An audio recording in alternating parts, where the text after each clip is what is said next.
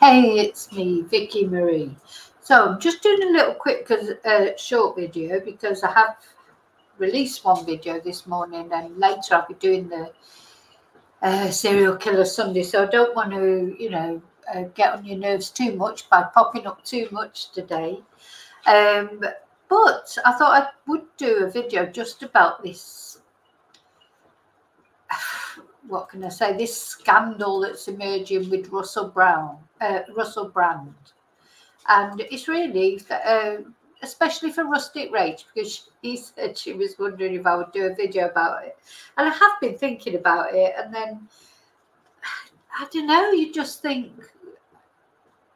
when I'm trying to establish what I think of this. Now, let's have a look at Russell sure you all know who he is anyway.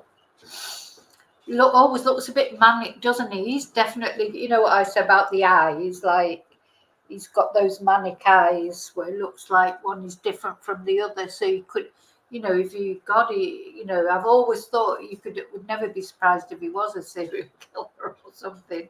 He's just got that mad look about him, but probably the drugs haven't helped. Uh, but you know, he's got to a point in his life where supposedly he's settled down, hasn't he? He's married, he's got children. Uh, you know, but then of course that doesn't excuse past behaviour. You know, so oh, I don't know. I per- personally, I think probably the allegations are true. Uh, I think he was just so zoned out then on drugs and what. I mean, the thing is, fame is a very, um, you know, young women. They will put themselves in compromising situations when people they're dazzled. They get dazzled by fame. Not only women, men do. You know, it's um, boys it's a it's a very potent you know if you're famous and you've got lots of money it's very potent it's easy to get people into compromising situations and sometimes when they're very young, like some of these, very, very young, I mean, borderline paedophilia, if they're true, if the reports are true, um, you know, they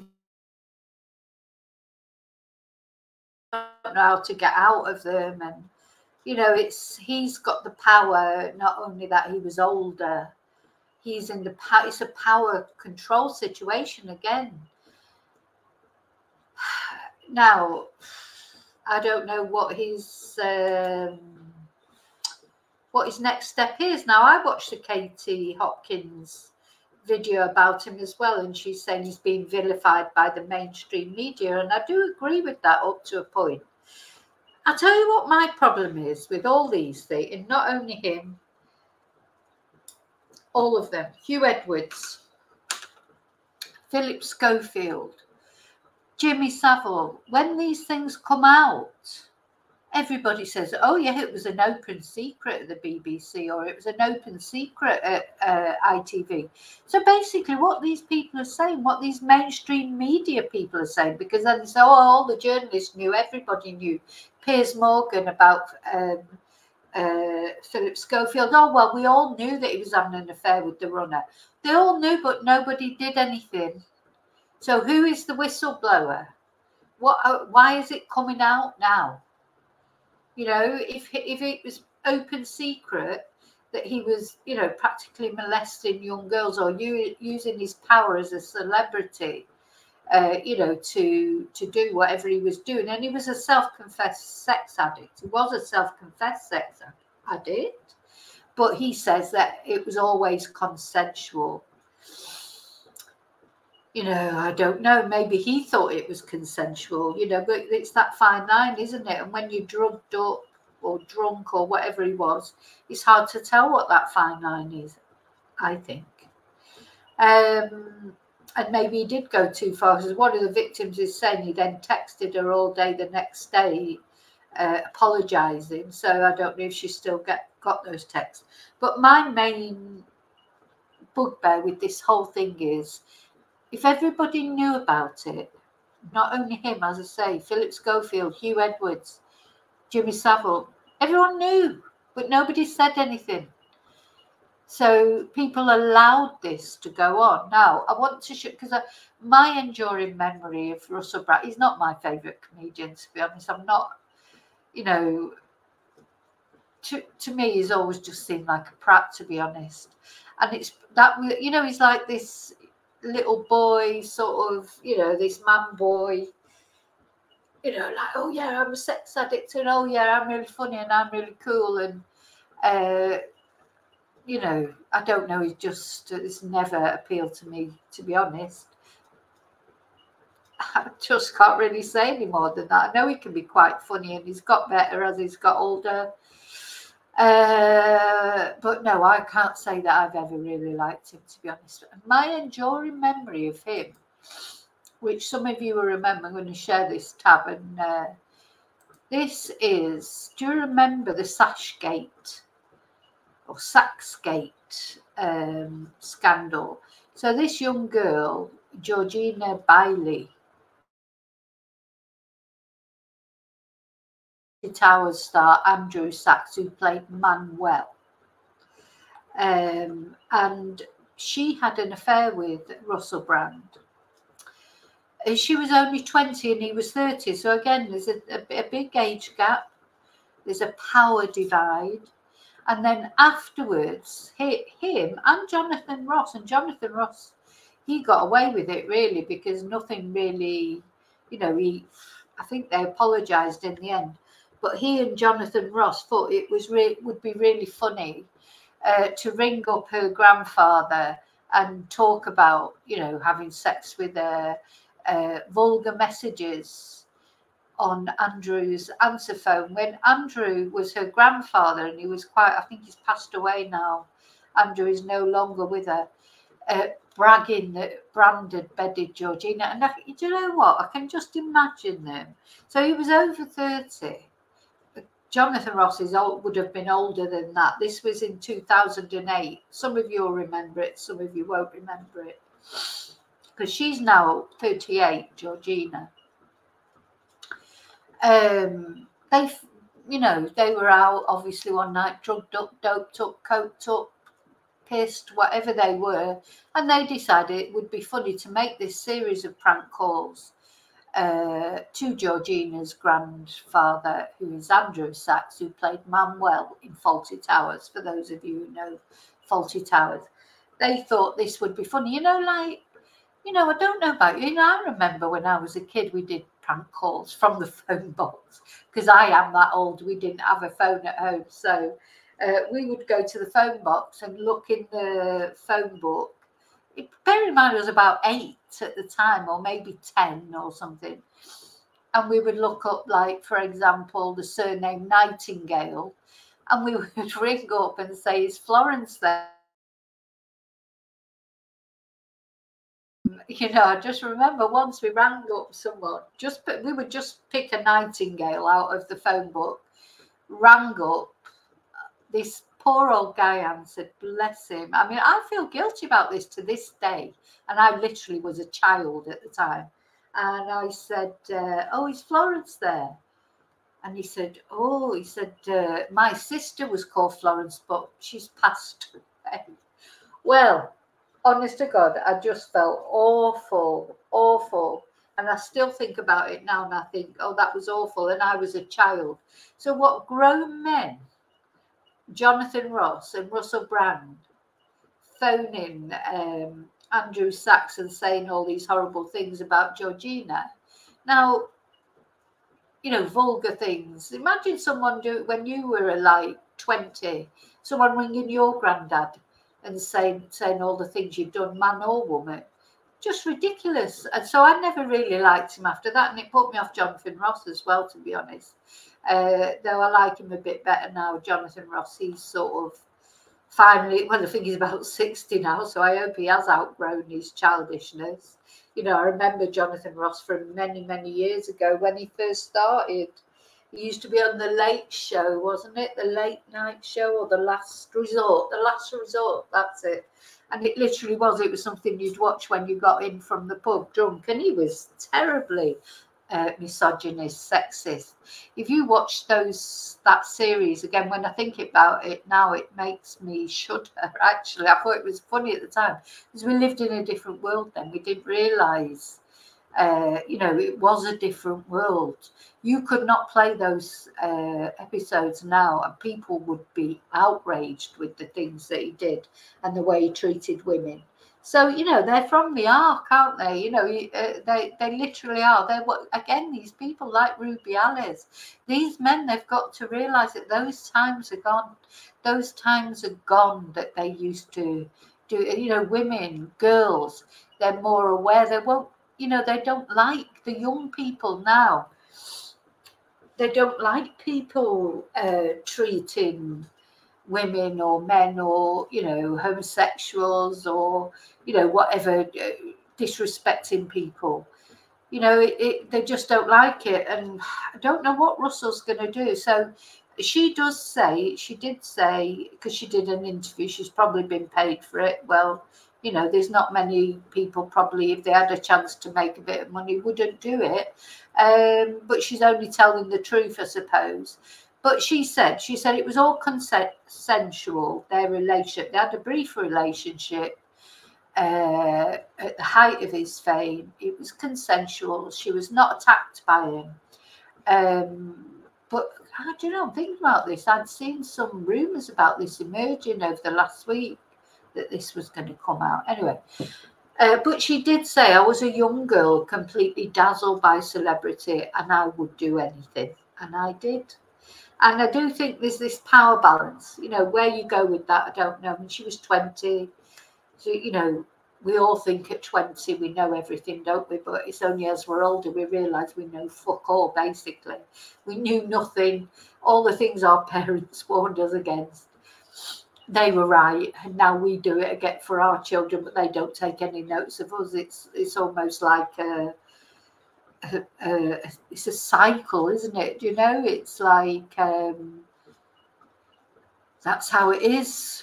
It almost seems like that's how it's destined to be. You, you don't listen to your parents, and then later your kids don't listen to you.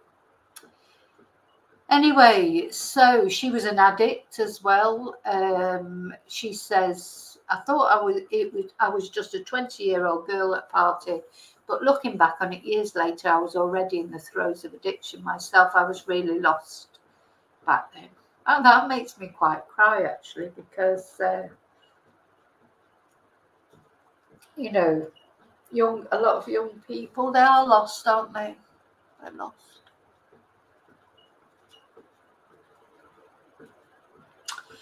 So after Sashgate, so what she's saying is after all this came out, because it was a great big massive thing.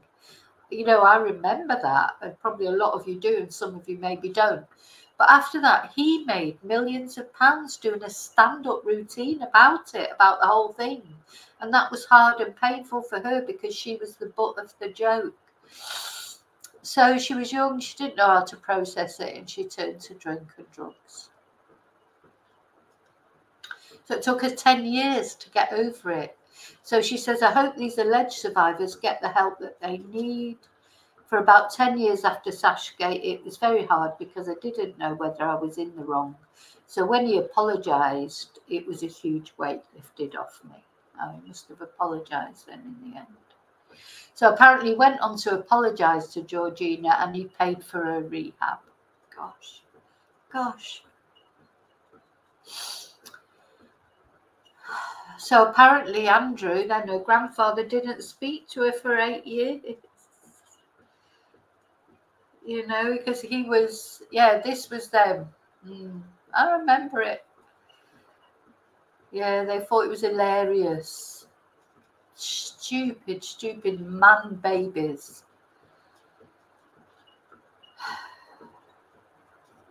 So she said, goes on to say, one of the things he said to me when making his amends was, with great power comes great responsibility. Finally, if he's that's it, I suppose. But he wasn't that young. I mean, he was thirty, uh, and I didn't realise that before. So yeah, you know, he has changed. I think I would uh, take that on board that he has changed. So he started to become more political, you know, instead of just making jokes, taking the piss out of everybody, which is what he used to do. He's done, he does quite a lot of satire now, doesn't he, about COVID or about anything that's happening in the world.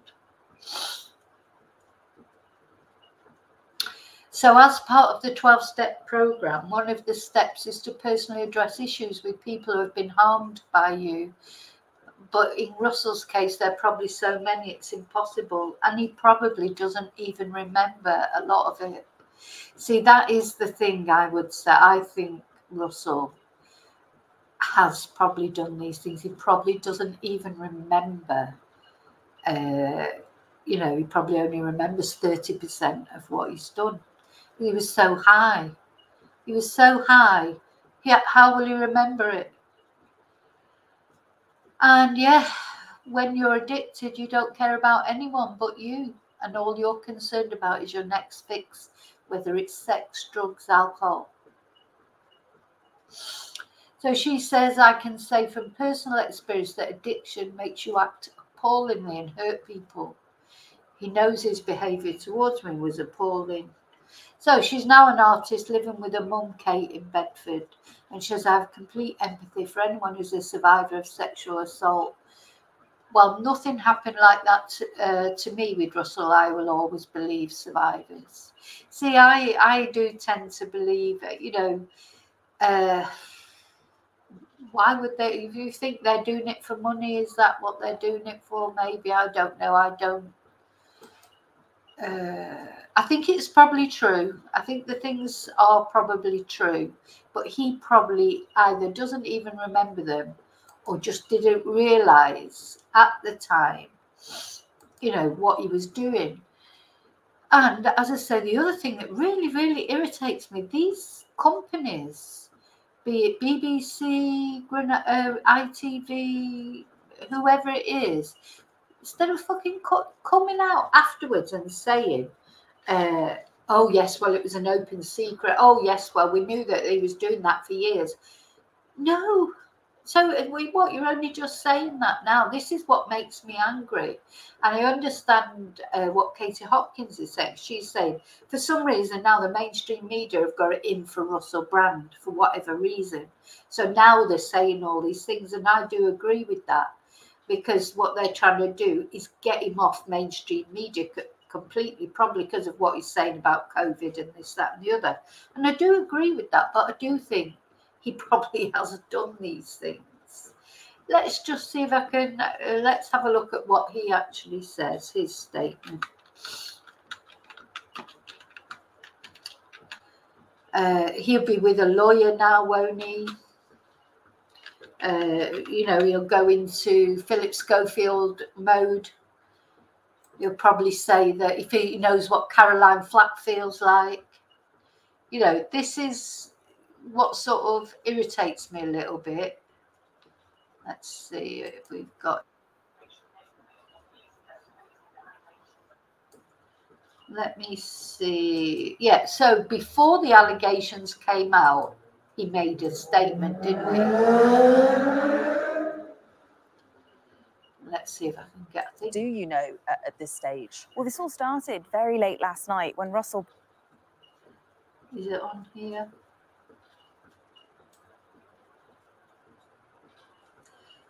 I just want his statement. Here it is. This litany of astonishing, rather baroque attacks are some very serious allegations that I absolutely refute. These allegations pertain to the time when I was working in the mainstream, when I was in the newspapers all the time, when I was in the movies. And as I've written about extensively in my books, I was very, very promiscuous. Now, during that time of promiscuity, the relationships I had were absolutely always consensual. As I've already mentioned, uh, Brand does. So, were they though? Were they though, Russell? Uh, personally, I think perhaps occasionally they weren't, or there was a little bit too much, you know, pressure. The the one of the girls is only sixteen, and she's come out with all sorts of things, you know, uh, you know, which I wouldn't even repeat on here.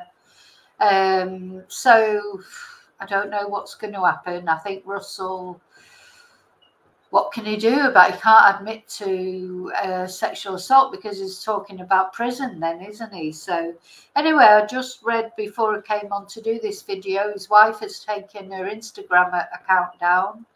You know, social media accounts are disappearing. Um, let's see if he's got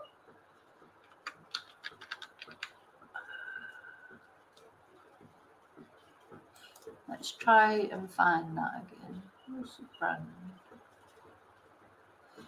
Right, see if we can get it on the mirror. Here we go. Probably have an advert, but I want to see his full statement. Oh, I can't find it.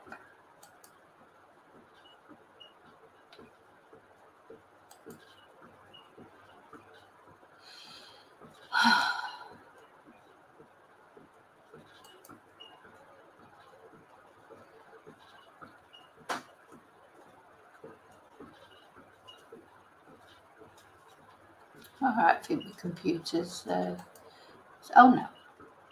Okay, I'll try one more time. If not,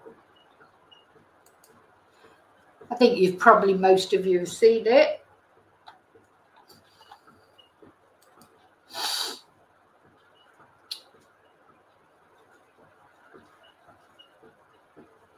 like finding one where they won't get you for the copyright because they do tend to get you for the copyright if it, on some of them. Ah, this might no. So this is happening. I think that's him. Yeah. Oh, hang on. I've just, this is off his own uh, YouTube channel. So let me just share it.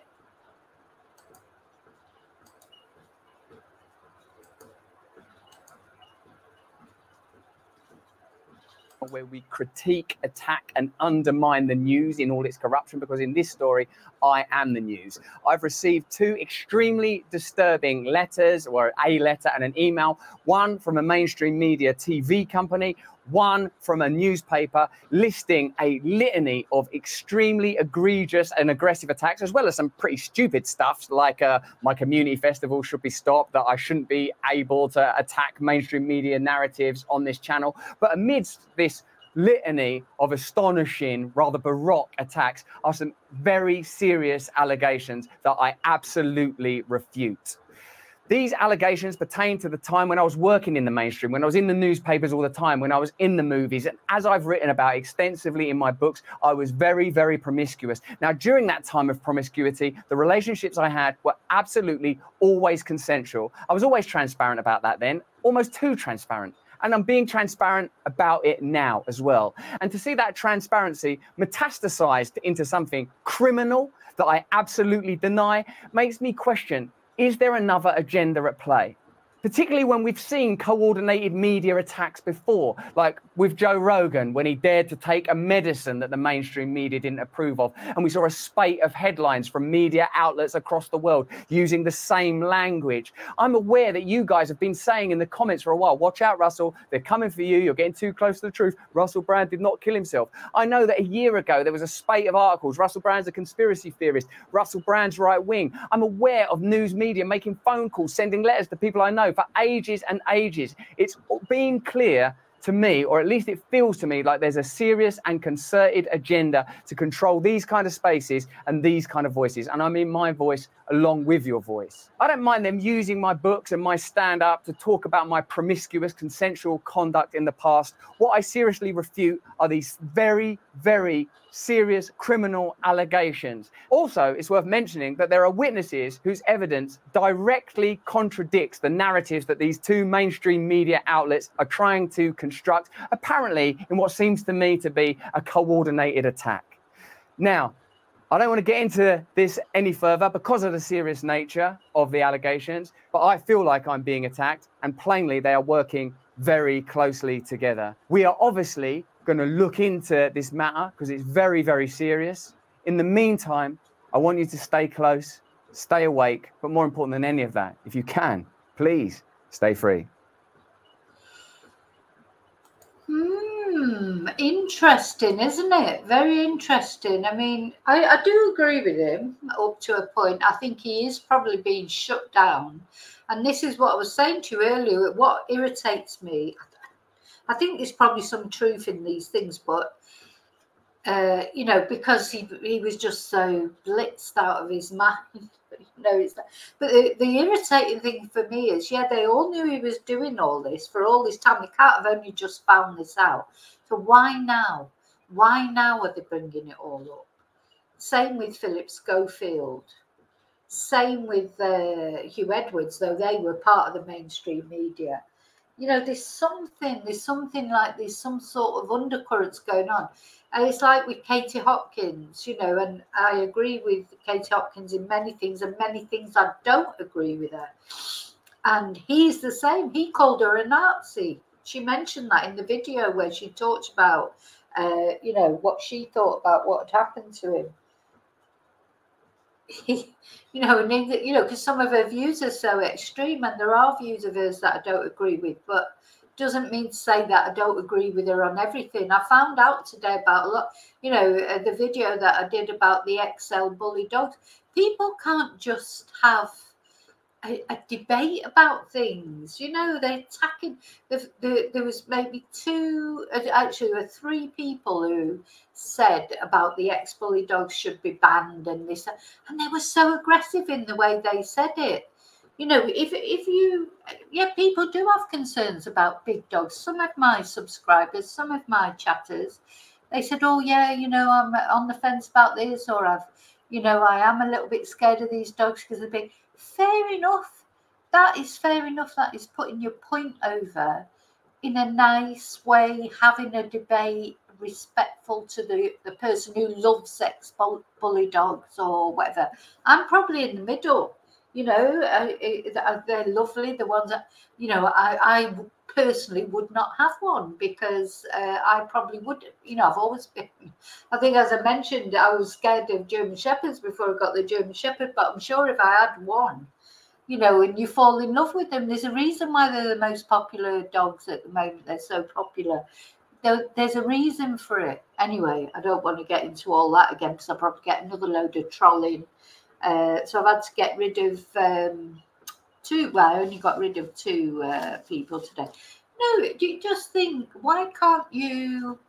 What's wrong with someone? That, like, for example, if I'm watching Katie Hopkins and then uh, she'll come up with one of her videos about immigrants or whatever, I never like those. I just don't watch it. You know, I don't go on and troll her and say, oh, this is wrong and that's wrong. And I used to like you, but I can't be doing it. No, she's doing her thing. That's her YouTube channel. She's doing her thing. You know, I, I wouldn't expect her to come onto my YouTube channel and say to me, oh, you shouldn't be doing this video. It's her YouTube channel. If you don't like it, go and make your own YouTube channel. Gosh, I've gone off on a, a, a rant. I didn't mean to do that. So, this is what Russell's got to say. So, let me know what you think. This would probably be another contentious one. I might have a little look at uh, Katie's video actually while I'm on. See what she says. Oh, she, oh God, she was up at the crack of dawn this morning, which is not, it's not what she normally does. Let's say she was literally because you know I get up at six or something, and she was up before that. Well, I say before that because you now, I presume she's in the UK. I'm not sure where she is at the moment because she does tend to uh, travel around. So she was up at the crack of dawn this morning with this video, so she obviously feels strongly about it. Okay. Planet that happened to me many moons ago, but perhaps. Oh, sorry, I've got to go back to the beginning. So it is early, and I can barely see through my own eyes, but I thought it was important to state a few things about Russell Brand. Number one, Russell Brand always said he had sex addiction. He's written about it, he's documented it. It's something that was in his past, and he may have had more sex with more people than others, almost, but he was never trying to hide all of that.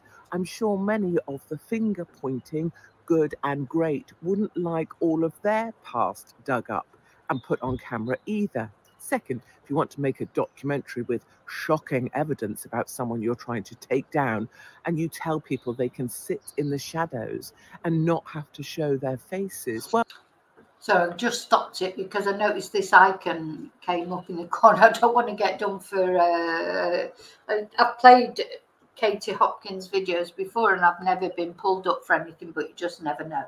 So if I stop it and start it, I've got less chance. Uh, but that was interesting as well what she said there. These people are in the shadows, so they've got they should come forward and they should um, be named. I agree with that. They should say, look, they, you know, openly, not all this secrecy for them. I don't agree with that because at the end of the day, he's been brought out into the open. So you know, they shouldn't have a right to do that without having to say who they are. I do agree with that. Well, you know, many people would be prepared to do that because if you can't see the person, it's also hard to see their truth, isn't it?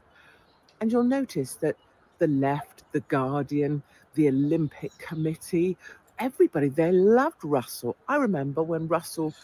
I don't like the way she always blames it on the left. It's not the left is all the mainstream media. It's not just the Guardian. You know, the, the story broke in the Times, I think, for God's sake. So, you know, why she's sort of landing on the left, I don't know.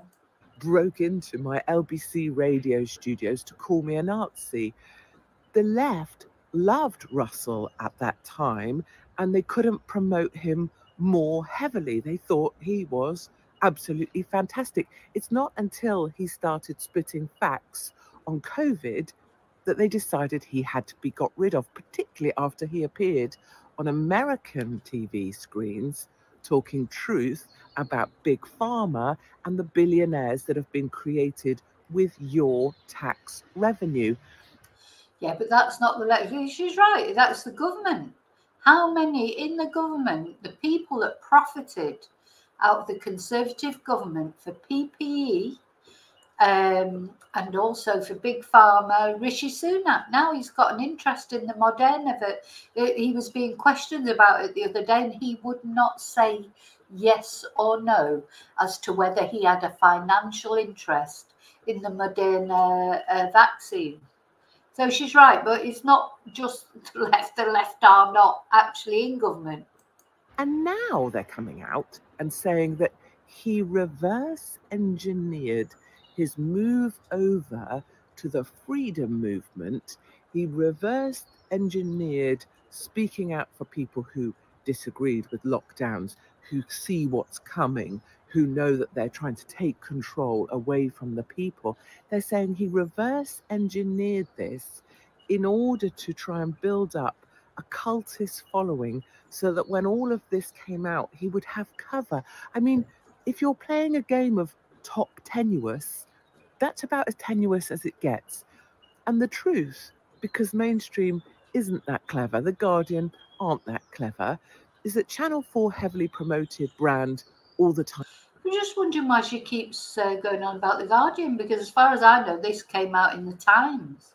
And that they wanted to now, the establishment has been looking for revenge, revenge for Huw Edwards. They've wanted someone from our side, the side that simply wants everyone to be okay, to pick off. And so they just regurgitated old shit about Russell. They found some people willing to sit in the dark and say stuff that pretty much Russell had already fessed up to already. And now that he's a clean. I don't really agree with her on this because uh, I do agree that people should come out, but I think I don't think Russell had ever admitted to raping a 16 year old girl up against a wall or you know things like that without uh, uh you know so I, I, don't agree with that. I think these are new things that are coming out russell he did say he was promiscuous um in fact a sex addict but um he never said that he'd done any of these things. So these are new things. Living guy, certainly cleaner living than I am, um, with a happy and stable life and a sold out tour and a successful media platform still, he has to be culled. Yeah, I agree with that. Uh, You know, he's settled down now. He's married. He's got children. I think his wife's pregnant at the moment. He's doing well on the because people want to go and watch him. They want to go listen to him. He did. Um, I think it was uh, last night, wasn't it? He went and did a, a stand-up uh, show, though he was late arriving for it, and it was shorter than it would have been normally. Uh, he said to them that he couldn't really comment on everything because it'll all be with the lawyers now.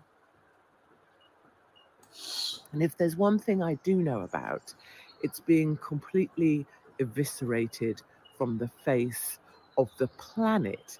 That happened to me many moons ago, but perhaps, just perhaps, we've been around long enough now for other people to see what's being done. You don't have to support Russell.